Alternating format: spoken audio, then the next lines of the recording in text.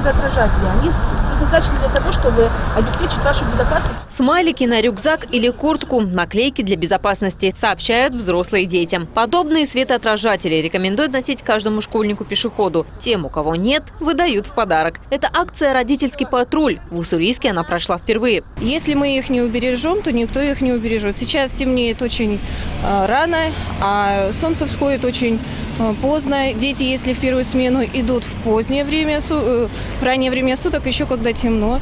И водители, э, освещенность плохая, водители очень плохо видят. С начала этого года в Уссурийске зарегистрировано три ДТП, в которых четверо детей получили травмы. Поэтому для профилактики инспекторы ГИБДД привлекли в работу родителей. Организовали патрули. Родители совместно с сотрудниками госавтоинспекции выходят на дороги нашего города и уже контролируют, э, чтобы и дети соблюдали правила дорожного движения, как бы помогают э, нам в нашей работе, чтобы мы совместными усилиями как бы стабилизировали обстановку на дорогах нашего Уссурийского городского округа. Инспекторы ГИБДД рекомендуют не пренебрегать световозвращающими наклейками, ведь благодаря таким простым элементам водителю будет легче заметить ребенка издалека и избежать аварии. Спасибо большое.